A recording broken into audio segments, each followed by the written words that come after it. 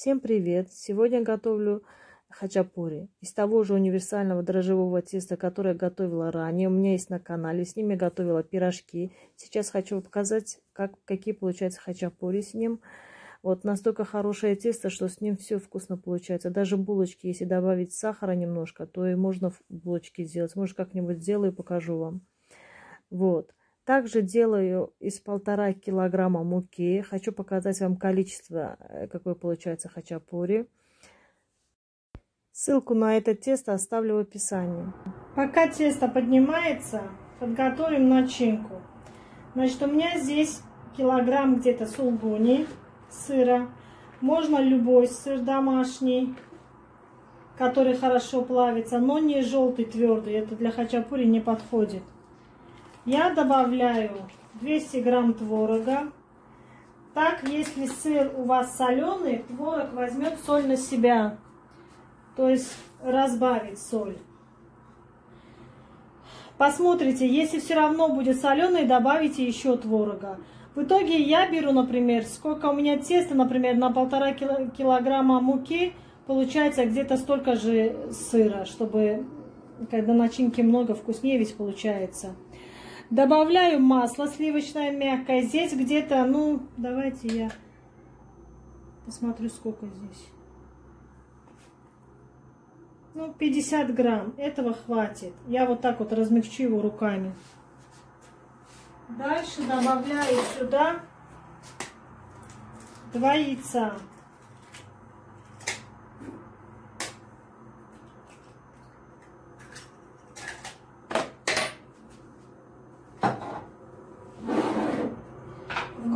Обычно, ну, очень многие добавляют вместо творога картошку, но мне это не нравится.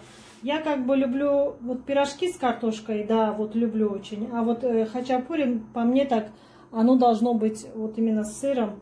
И творог, ведь он тот же самый сыр, только не соленый. Добавлю немножко соли, потому что у меня сулгуни не очень соленый. Как бы творог еще э, помогает как бы экономить сыр.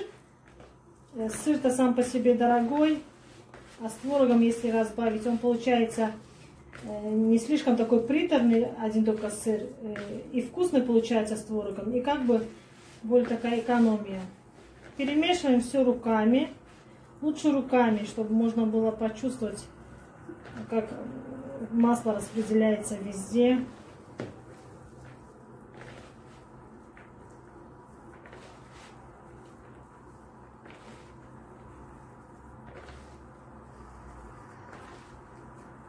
Так вот. Сильно мять не надо, просто надо перемешать. В конце посмотрите на соль. Можно с брынзой, как бы, если домашняя брынза хорошо плавится, можно с брынзой разбавить творог.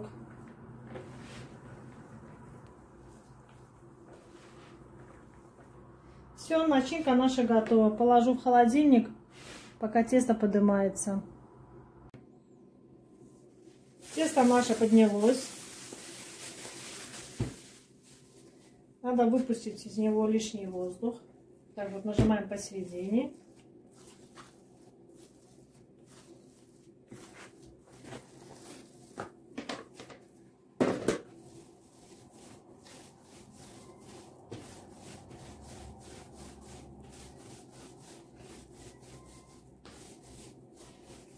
Надо сделать из него клубочки.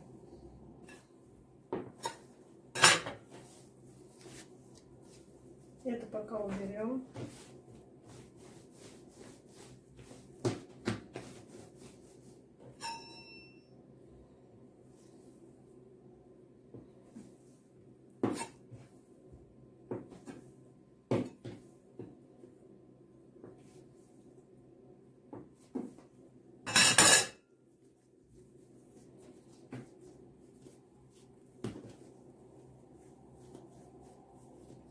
Стараемся делать небольшие.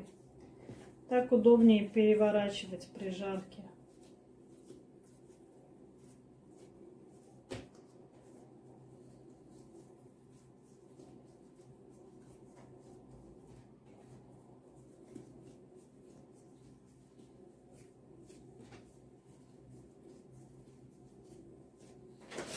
Остальное тесто пока накрою снова, чтобы не заветривалось. Итак, подготовим сыр. Здесь у нас пока 10, ой, 6 клубочков. Эти на 6 клубочков сделаем таких же клубочков 6 сыра, чтобы удобнее было заворачивать. Вот так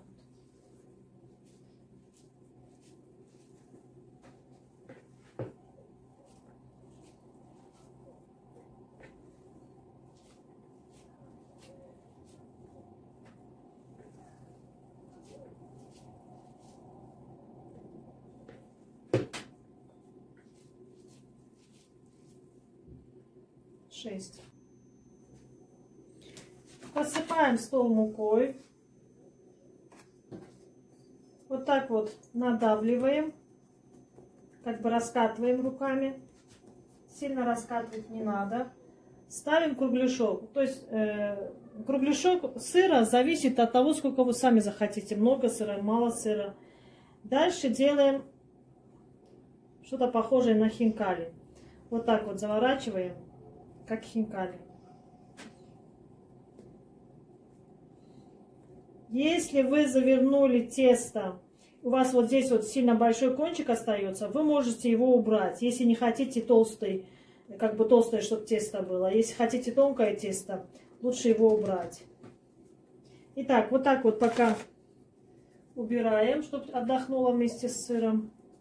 Дальше делаем точно так же другим.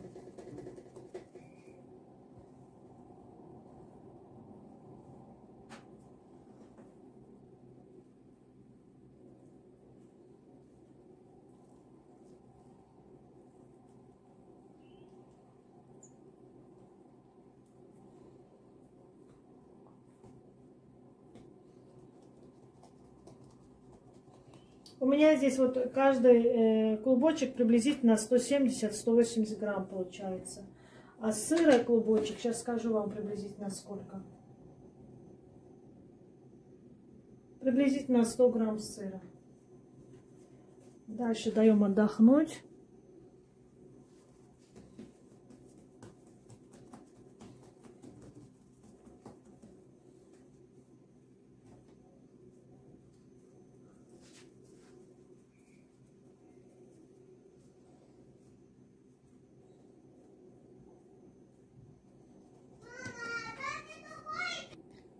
Дальше нам надо слегка раскатать. Начинаем с первого.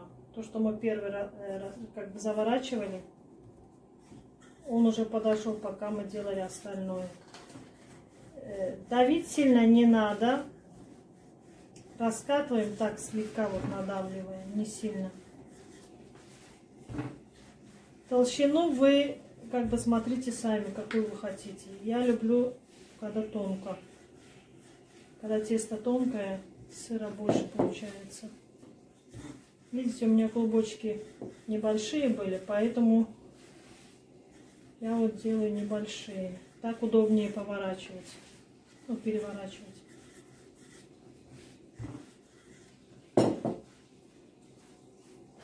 Дальше местами вилкой вот так вот колю, чтобы не надувалось.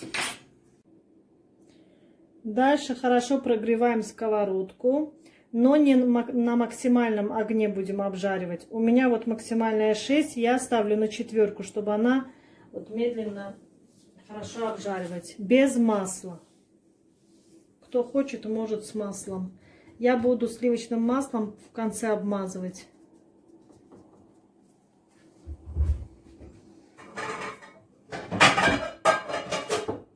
чтобы внутри хорошо пропеклось, накрываю вот так вот крышкой. Итак, посмотрим.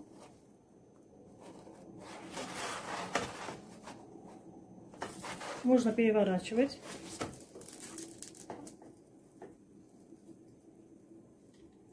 Пока обжаривается один хачапури у нас, мы раскатываем следующий. Подготавливаем.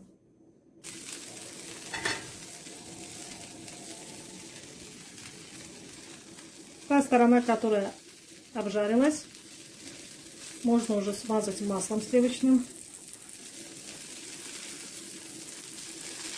Можно потом смазать уже на подносе.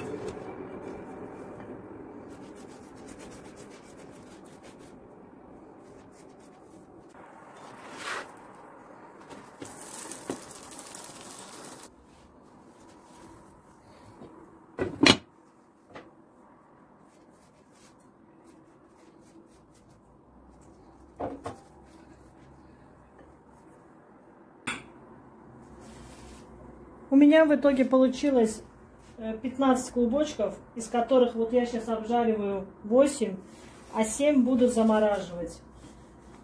Ну, на случай, если придут гости или э, опять домашние захотят хачапури. Буду, наверное, э, размораживать и выпекать уже в духовке. Посмотрите, как я замораживаю. Вот так вот раскатала, пергамент положила, сверху еще один пергамент, сверху еще один слой сверху пергамент. Нет, нет. Как я? Сверху еще один. И так вот буду делать 7 штук и замораживать. После того, как заморозится, достану э, вот этот вот э, поднос и просто вот в пергаменте заверну в пакет и оставлю в морозилке. Когда нужно будет достать, зачем нужен пергамент? Чтобы она не слиплась друг с другом. Можно по одному достать, если вы не все сразу будете обжаривать. Вот так вот сразу в пергаменте разморозили и сразу в духовку. Смотри, я что делал? Смотри, не погнем. Ага.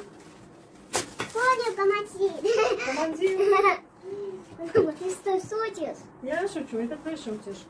Я вот так делаю, мама, тебе вот так не видно, да? Угу. Не надо, сейчас порвешь. А это нужно? Нет, не нужно. Ну как? Ну, ты хочешь мне помочь? Да. Ты Хочу. что, мой помощник? Давай сюда бумажку. Бумажку, это? Угу. На. Подожди, я уже поставлю. Это это? Вот так вот. Сколько у нас уже здесь? Посчитал ты? Ты считал. Раз, два, три, четыре, пять, шесть. Еще один семь. А это уже. Три, два, один, пять. Поставь сюда бумажку на нее, поставь. Вот сюда? Угу. Какие Ну, что там Мария Юрьевна рассказывает? Мария Мурина. Марина, Марина Мурина? Нет, Мария Юрьевна. Марина ушел. Ушла она? Да. Устала от вас и убежала, да? В садике все достали, Да. наверное. Вот так? Что она говорит? Убирайте игрушки, говорит? Да. А ты убираешь? Конечно. Конечно. Я тебе сына помогу, мам. Ну, давай, помогай. Как помогать? Ну, не знаю, как ты сильно не поможешь. Как? Я сына? Вот так вот столько у нас получилось. Они пока еще кажутся толстенькими, но когда постоят немножко, они вот спадут и будут тонкие. Вот так вот. Вкусно. Никто уже не хочет ждать, пока остынут. Так что придется детям нарезать.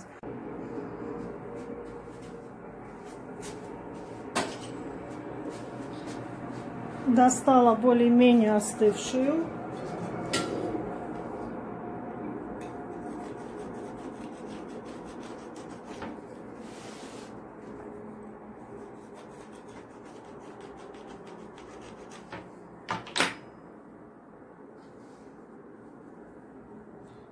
Посмотрите, тоненькая.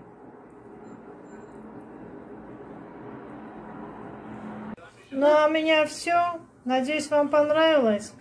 Пока-пока. Скажи пока. Пока-пока.